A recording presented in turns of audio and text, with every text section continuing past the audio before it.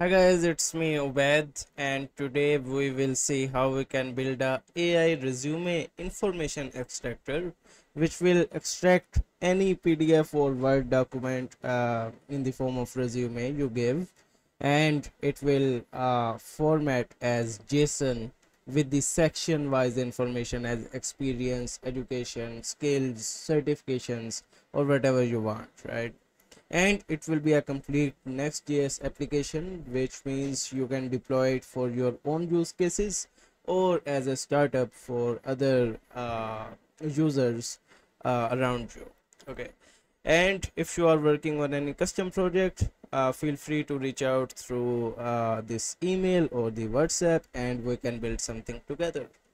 Okay. I believe we can start uh, this will be the application. We will see how we can set it up and get it running.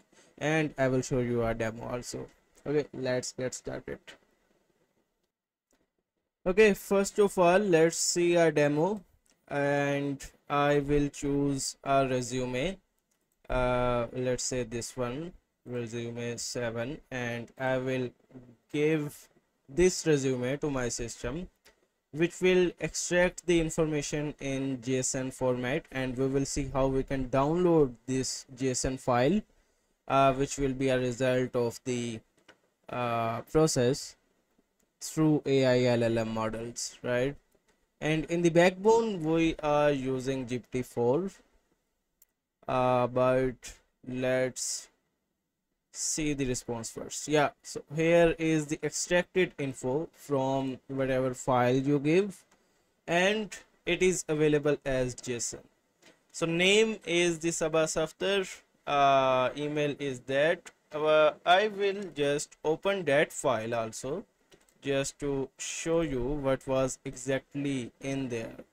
So we have this resume here with all of these data around the Sabah Safdar, the uh, candidate. It may be a candidate who have applied for your job or you are working for uh, someone as a recruiter, right? Okay, so Sabah Safdar name, the email, the location, the currently working, uh, what is the role uh, she is doing right now. So that is data engineer as systems. So let's see if it's uh, even that yeah so if we see the work experience we have data engineer in the system limited yeah. And the previously worked we have data scientist as Turing, data scientist as packagex data analyst data science as uh, fiverr with responsibilities. And it even showed you the responsibilities as what was she actually doing uh, around that experience or around that job role right uh, it will be a you know, freelancing experience of her. And in the uh, skill section with the professional skills tag uh, what I have done is uh, try to mention the skill also. But not only the skill it will mention where exactly that skill was being used.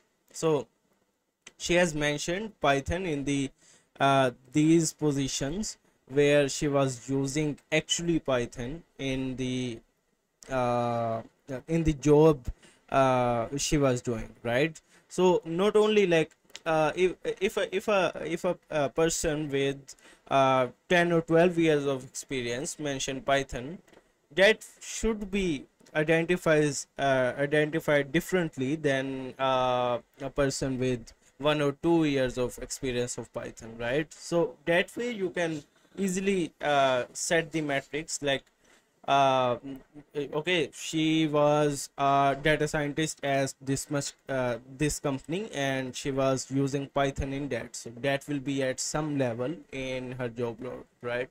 So you can have the idea of that.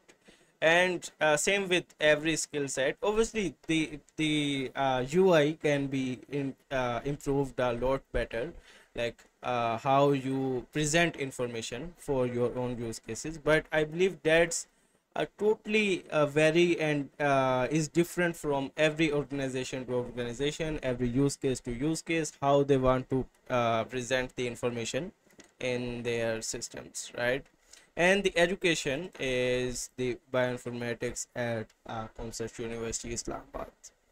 Okay so I believe this was the information uh, anyone or uh, you know recruiter will try to find out in every resume. And suppose you have like 500 resumes and you have all the information which can be downloaded as json. So if i click on that i will get this file. And if i open this i will have all the information in the json. So name email uh, currently working previously worked professional skills education law uh, the location. So i have all the information here and uh, you can easily parse this information or give it to your uh, further evaluating process uh, which will be in a in a structured way rather than a pdf or a word file right?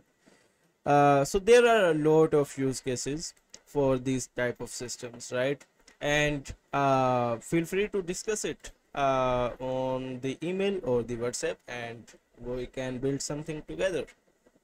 Uh, okay. So let's see how uh, the thing is working. Uh, so first of all this is a next.js application. So i will just close or cancel out all the servers uh yeah. So if we see in the source we have a component of index. A navbar is simple just the navbar uh, the index what it is doing it is accepting a file and uh, the file will be obviously of the resume.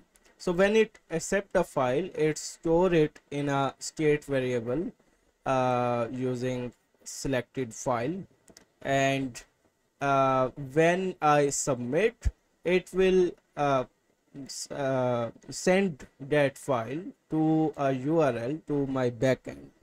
So I have an endpoint with the flask name as extract info. So I will do a post request to that with that file and I will get back all the processing of the file which will be name, email and all the sections of the resume.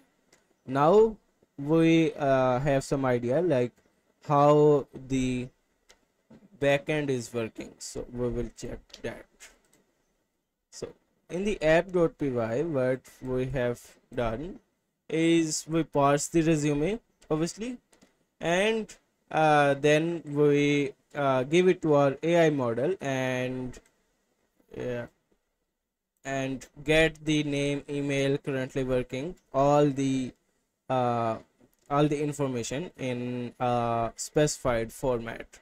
And we use it to display on our uh, UI with the help of display info page. So I will route it back uh, uh, to a page name as display info and if I can show you. Yeah so i am on the display info and the information is in the url uh, so here we have all the uh, display functionality with the tailwind css with the name email location and all that. And these are the variables which contains those information right?